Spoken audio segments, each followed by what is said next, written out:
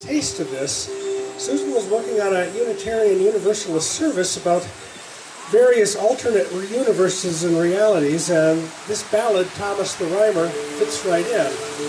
Yes, I'm, I'm sure that the people here are familiar with the idea that there are lots and lots of legends about alternative realities, and one of the most frequent ones is the one where the, where the beautiful fairy queen comes and abducts somebody from this universe and uh, doesn't give him or her back unless they meet certain conditions. And this is the story of Thomas the Rhymer. And as Phil said, the three ballad versions that he gave me, none of them made sense on their own. So I sort of anglicized them and uh, made them into a, a coherent story which ends when the queen takes him off to fairyland and under certain conditions. He gets a gift when he comes back. It goes on in a much, much longer version out on the internet. And he comes back with the uh, gift from the fairy realm, and there's always a sting in the tale. He has he can foretell the future, but he has to tell the truth. There was a great book written based on that ballad. I forget which author wrote it, but uh, it's well worth looking up.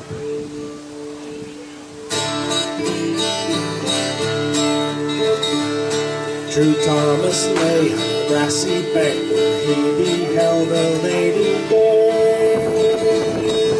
A lady who was brisk and bold, riding o'er the ferny brae. Her skirt was of grass green silk, and mantle of the velvet fine. And hanging from her horse's mane were fifty silver bells of nine.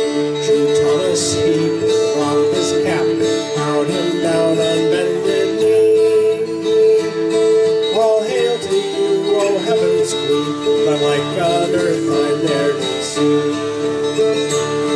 Oh no, she Thomas, oh she said, and name is.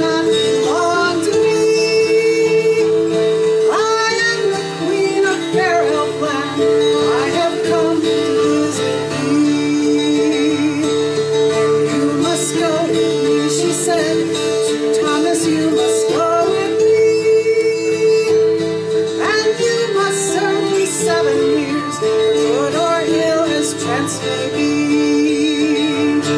She spouted on a white stage, took true Thomas up behind. And every time the bridle rang, the horse ran swifter.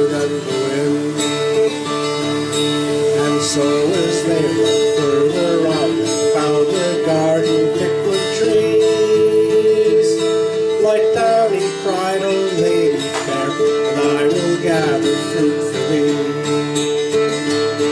Oh, no, true Thomas, no, she said, that fruit must not be touched by thee.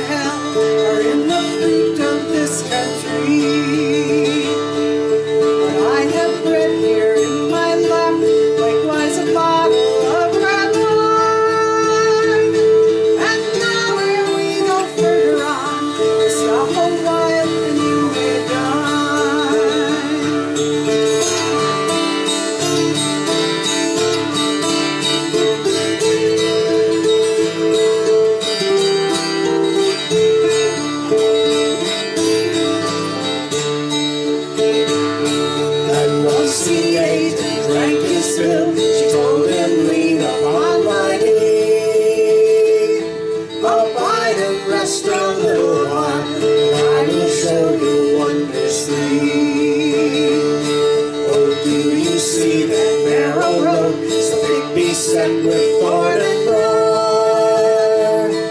That is the path of righteousness, go after it but few inquire. And do you see that broad, broad road lies across the grassy lea? That is the path of wickedness, though some say heaven's where it leads.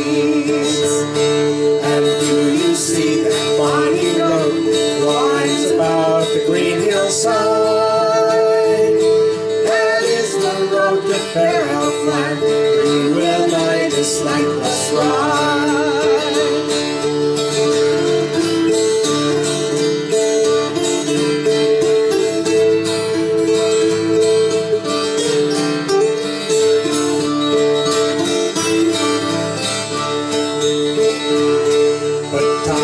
you must hold your tongue.